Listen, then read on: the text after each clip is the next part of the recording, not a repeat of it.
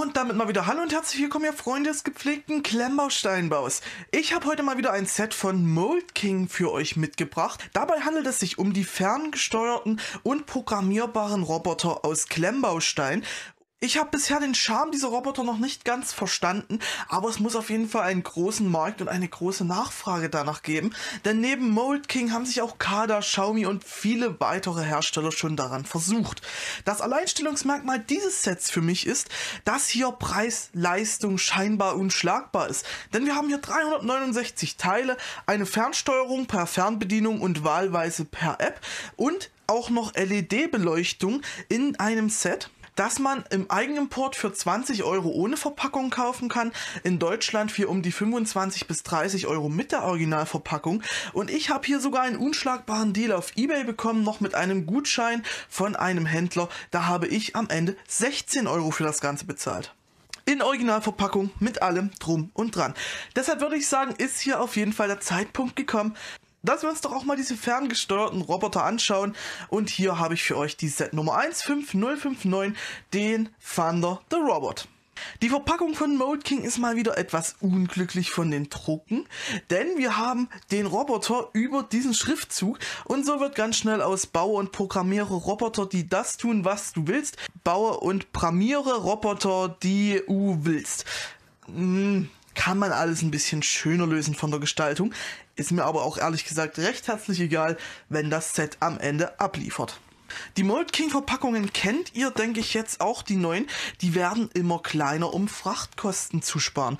Das ist ja auch ökologisch eine sinnvolle Sache und deshalb merkt man schon, das Ding hier ist wirklich brechend voll. Hier hat man keine Luftnummer, das ist schön handlich, hier wird man nicht über den Tisch gezogen. Wir haben hier nochmal die zwei Steuerarten gezeigt und wohin man mit dem Ganzen fahren kann, das schauen wir uns natürlich dann am Set an. Und wir haben nochmal die Maße. Am Ende wird das Ganze 19,4 cm breit, 13,2 cm tief und 25,2 cm hoch. Da wir ja aber jetzt anhand der Packung nicht so viel über das Set sagen können, würde ich sagen, ich mache das Ganze jetzt mal auf und wir schauen uns zusammen die Steinetüten und die Anleitung an. Und das Ganze war wie erwartet wirklich brechend voll. Wir haben einmal die Steinetüten. Über die Teilequalität reden wir wie immer, wenn es soweit ist, und zwar während des Baus. Dann haben wir eine Anleitung und das Ladekabel für den Powerbrick. Und dieser Powerbrick ist ganz spannend, denn hier ist die Akkubox und der Motor zusammen in einem. Also wird die Hauptfunktion mit der Fernsteuerung dann über diesen Powerbrick hier gehen. Das habe ich in der Art und Weise noch nicht gesehen, aber ich bin auf jeden Fall mal gespannt, wie das Ganze funktioniert.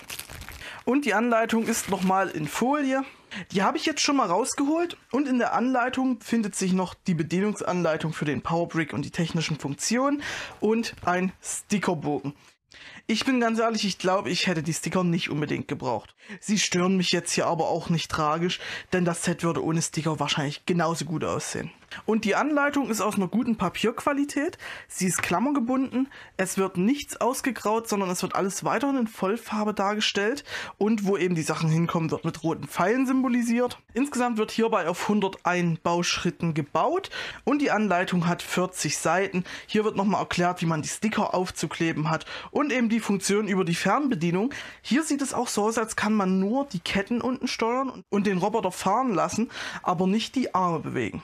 Das Arme bewegen muss man dann wohl mit der Hand machen. Ich habe das durchaus auch schon von anderen Herstellern wie zum Beispiel Kada oder Xiaomi gesehen, dass man dort auch die Arme elektrisch bewegen konnte. Irgendwo muss natürlich der Preisunterschied herkommen.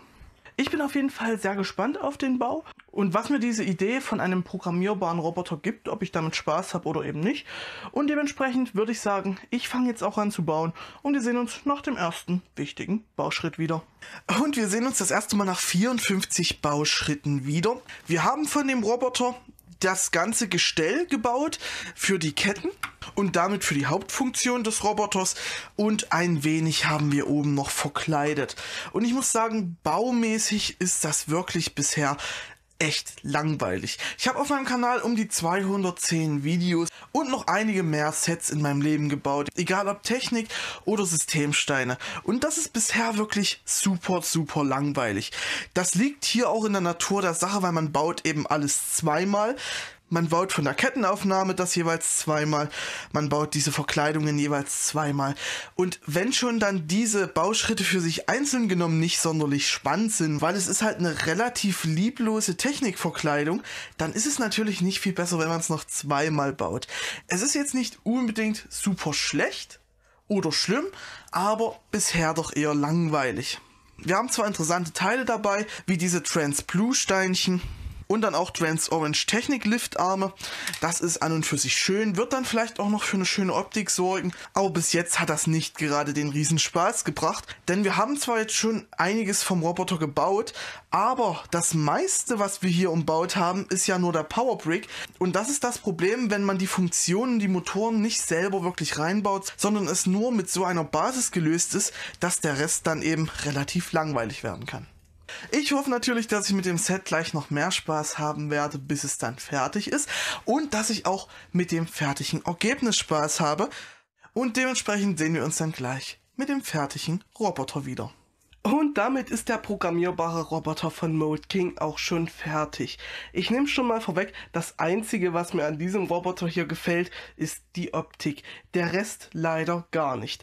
Und selbst bei der Optik ist das leider eingeschränkt, weil viel von der Optik wirken natürlich diese Sticker hier mit diesen Schaltkreisen und dieser Elektrizität, die hier dargestellt wird.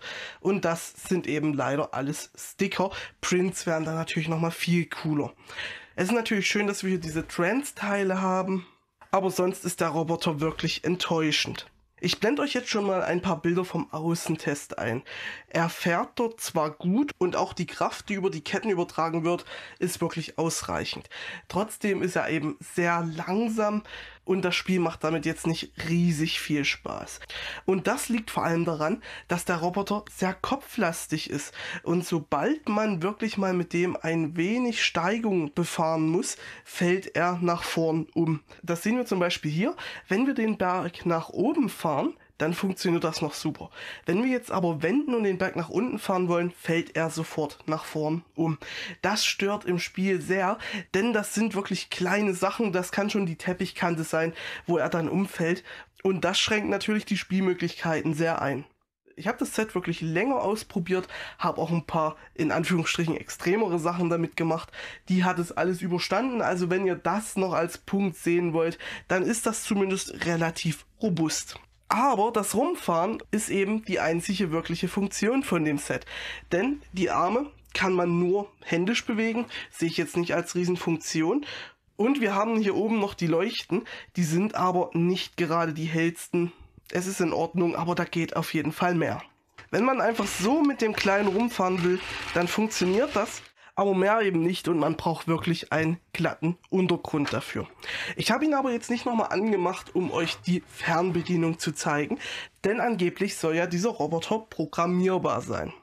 Und das Ganze soll über diese App laufen. Aber ein grundlegendes Problem gibt es, ich habe es wirklich öfter versucht, ich schaffe es nicht, die App mit diesem Gefährt hier zu verbinden.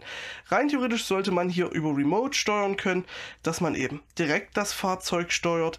Dann gibt es eine Steuerung über Bewegungssensoren, eine in der man zeichnet, wo er fahren soll und eine Sprachsteuerung. Das ist auch alles schön und gut, aber wie gesagt, ich kann es nicht verbinden. Ich habe es mit diesem Handy hier versucht und ich habe es auch mit dem Handy versucht, was gerade hier aufnimmt und es hat beides nicht funktioniert, egal wie ich es versucht habe. Das Ganze klappt nicht. Ein weiteres Kriterium, was ich nicht so gut finde, ist, dass die App nicht im App Store oder Play Store ist, sondern man sie sich auch frei aus dem Internet downloaden muss. Das ist immer ein bisschen sicherheitsbedenklich. Und dann gibt es noch das Programmieren. Und das Programmieren zu nennen ist schon etwas übertrieben, denn man kann hier einfach nur mit verschiedenen Bausteinen, die vorgefertigt sind, einen Weg zusammenbauen, den er dann nacheinander abfährt. Heißt, hier dreht er sich, dann fährt er mal nach links, dann macht er eine kurze Pause und so weiter und so fort. Das ist eigentlich kein Programmieren. Das ist im Endeffekt das Vorzeichnen nur mit solchen vorgefertigten Bausteinen. Und dann fährt er das, wie gesagt, ab.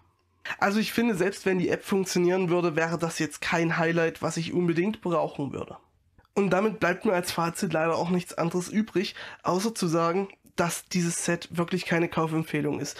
Der Bau war super langweilig, Die App funktioniert zumindest bei mir nicht, aber selbst wenn sie funktionieren würde, würde sie mich, glaube ich, nicht super überzeugen, weil jetzt dieses Programmieren in Anführungsstrichen auch nicht viel cooler ist als die Fernbedienung. Und dann funktioniert er selbst im normalen Spiel mit der Fernbedienung nicht so wirklich, weil er so kopflastig ist und so schnell umfällt. Da gibt es wirklich viel bessere kettenbetriebene Fahrzeuge. Ich habe ja auch schon einen hier vorgestellt und das macht richtig viel Spaß im Spiel. Das hier ist leider als programmierbarer Roboter ein Flop gewesen. Eventuell sind da andere Hersteller besser und haben nochmal mehr Funktionen bei so einem Roboter, aber diesen hier von Mold King kann ich nicht empfehlen. Hier lohnt sich selbst der geringe Preis leider nicht.